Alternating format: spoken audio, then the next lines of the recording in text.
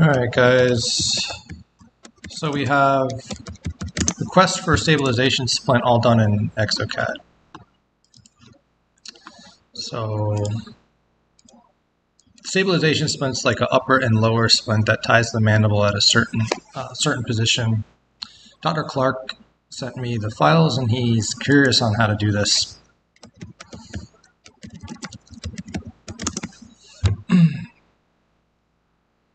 So let me go ahead and um, first design a lower bite splint. And occlusal thickness I'll put at half. Peripheral thickness I'll put at half. Just go ahead and click antagonist here. And then we'll just call this, I think it's a digital impression. So let's load these files. I've never seen this case before. I'm not familiar with it. I don't know if it's been scanned at the proper OVD um, at the protruded position. I'm assuming it has been scanned at that proper position.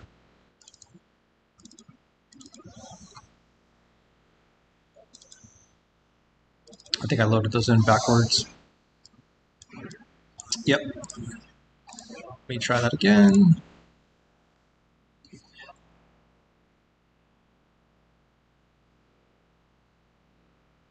So I, I, picked the lower, so I have to lower the lower the lower jaw first, which I think in the nomenclature of the way this scanner saved was called opposing. I bet. Yep. There we go. So you turn your model to where you could not have it be red, kind of looking straight down the insertion axis. And cool, he did scan it at the position that he wanted it to be scanned in, I assume here. Nice job, Dr. Clark. Protruded position here. And so it says, um, do you want to trim any of the model? I don't. So now it's picking the path of insertion. I'm going to pick just a slightly more facial path of insertion, maybe right about here. So I'm going to set from view. And then I'm going to hit apply.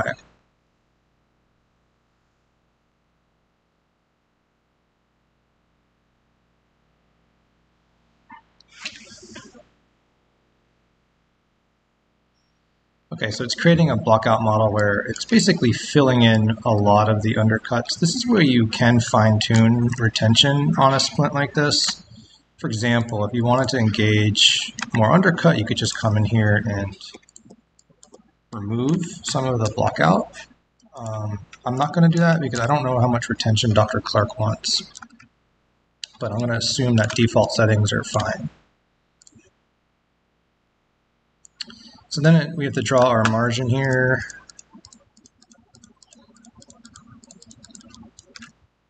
Again, without getting into politics of where you want your margin drawn on a bite splint, you could put it straight through the kind of the uh, middle of the tooth here, or you could come into these embrasure forms. Lots of different options here. And that's all personal preference that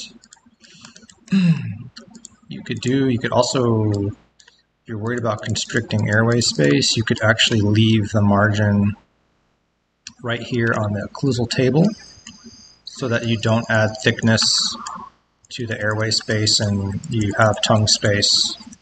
Again, I'm not going to get into all that philosophy. This is more just a how do you design an upper and a lower bite stabilization splint.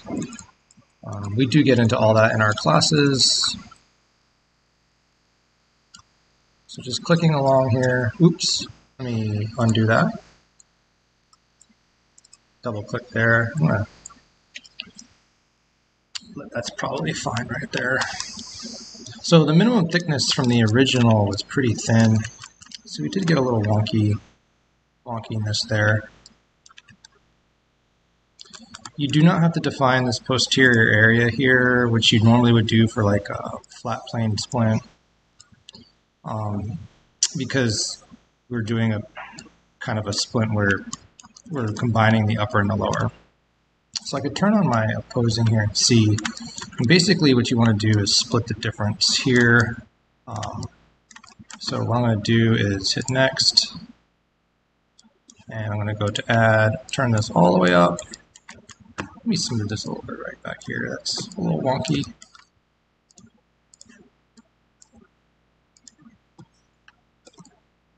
Interesting. I wonder if I have a weird margin line there. Let me go to edit, expert mode, and I'm just going to drop back to Bite bottom. And actually it's maybe it's this one here. Yeah, let me see what we got. Might have went into some nether regions here. Yeah, it did. That should be better now. And I already know that seeing the way this is positioned here that I need some extra thickness. So I'm going to go to my occlusal thickness at 2. Peripheral thickness I'll put at 1 and I'll hit apply here. And see what that gives me. That's a good start. I could go back and edit this. And I still don't know why I have that tumor there, but I think that's going to be easy to smooth now. So I'll go back to my wizard, smooth that little tumor there. And I'm going to hold my smooth flatten, smooth all this, some flat here. Let's see, because remember we have to come up top here with the splint. So we don't want inadequate thickness to that top one back there on this side. Good. So now I'm going to go to my add remove. And I'm going to come in here and I'm going to add some thickness here. I know a lot of people that do not like to actually tie the anterior teeth together and they leave air space hopefully the patient still has lip continence or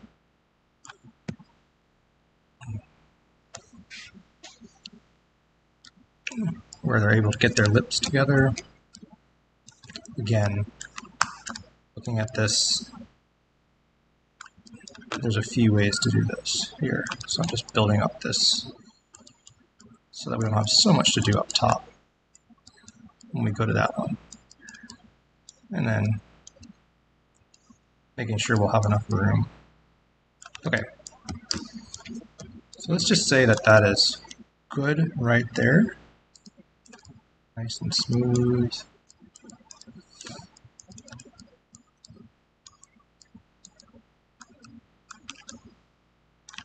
Getting still a little tight in here.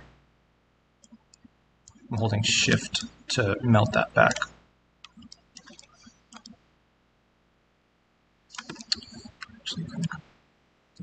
Good. Let's just go ahead and hit next. Okay, so now we have a lower appliance designed. And so the way that you are going to do this is you're going to actually right click and hit save scene as. Uh, and I'll now call this lower. Plain STL use default coordinate system. Then I'm going to turn on the antagonist. And I'll call this upper.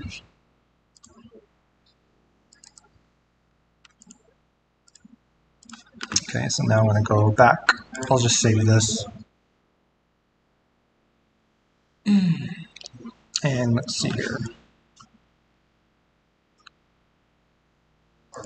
Let me exit out of here. And now I'm just going to flip this. I'll, just I'll just make a new case here.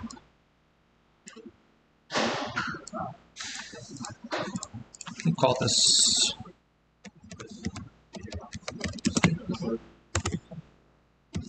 and now we'll go and click the upper and go to plate splint and then we'll do antagonist here. Just call that an antagonist. Okay. And digital impression why not? Let's go back and design now and so basically what you're going to do now is bring in that other file. Did I hit design? There we go. She's a little slow today. So stabilization splint, it's asking me for the upper and then the lower. Okay. So now what we're going to do is same thing, set our path of insertion here. And see, don't need to crop anything. Um, I'm going to assume default settings on this. Um, Yeah. I don't know what you like, Dr. Clark, so bear with me here. I'll let you be able to redo this as you want. If you want to add more block out in here, um, I'll show you how to do that under freeforming. We're going to have tons of block out on the distals of uh, distal buccals here based off of this angle you see. So it's not going to be super tight back there. In fact, I might actually come in here and add some thickness. Let me back up one second.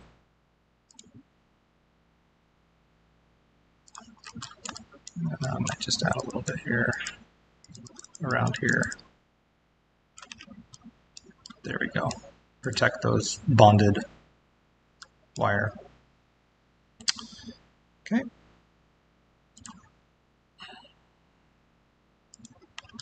Okay, so now we have to draw our margin. And again, this is totally user preference. Um, a lot of people keep the margin on a stabilization splint um, on the occlusal table to avoid airway constriction. I don't know um, what Dr. Clark likes, so I'm going to just do traditional stabilization here with a scalloped border. Oops, so I clicked down here by accident, I'll hit undo. So I'm coming down here. And again, on the buccal, some people like to go more at um, kind of the height of contour of the tooth. I, think I saw one Dr. Clark did where he made them come all the way down to the tissue. So that's what I'm going to do, but um, I could be wrong on what he likes. And so what you do here now is just really quick. What's cool is now um, you have your thickness parameters here. and what you're going to do is you're going to turn on your previously designed splint and that is a blunder of mine. Let me see what's going on here. This happens sometimes with the when you accidentally um, cut through a tooth like this in an open mesh. I'm gonna have to drag that point and see, drag it out. If that helps this, maybe add another point. You have to be careful of that because you'll get a area that doesn't fit well. It's still a little wonky.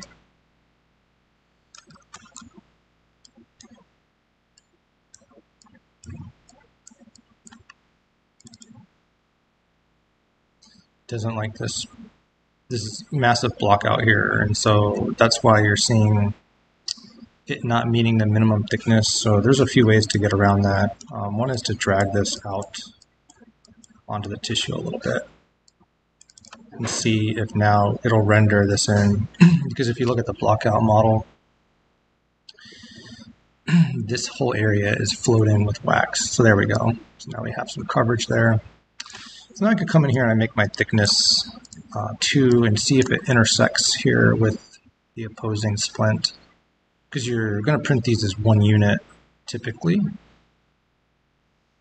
Um, I think Dr. Clark's been like bonding them together or something. Yeah. So now we have these contact points here. And so now what I'm going to do is go to my smooth or my add remove, bump this all the way up. You're basically looking for zones of red pink to be the areas at which these appliances will be perfectly fused together. And this is personal preference based off of how much surface area you want. And we're going to go back and smooth this later, but you can see here, some people like to keep a gap here. I, I personally do, but I some people like to close. The teeth can't move because they're splinted everywhere, but um, I usually leave a decent sized gap here so that if for some reason the patients subjectively feel like if there's an opening there, if there's somehow they could breathe through their mouth easier, it's more um, it's more subjective. But of course, we want to discourage mouth breathing, but and try to encourage nasal breathing. But so I'm going to close this up because I think I think that's what Dr. Clark would want. So just turning this on here.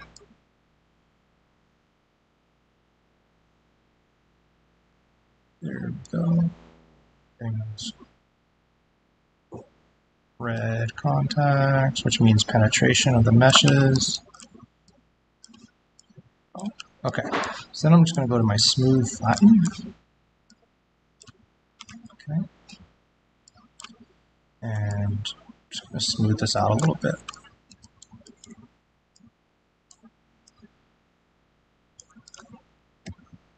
There you go.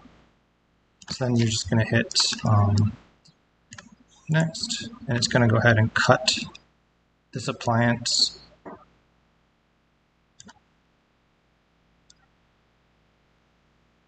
to the model. Let's see. Right now it's doing that. There you go. So when you look through, you don't want to see blue sticking through your tooth.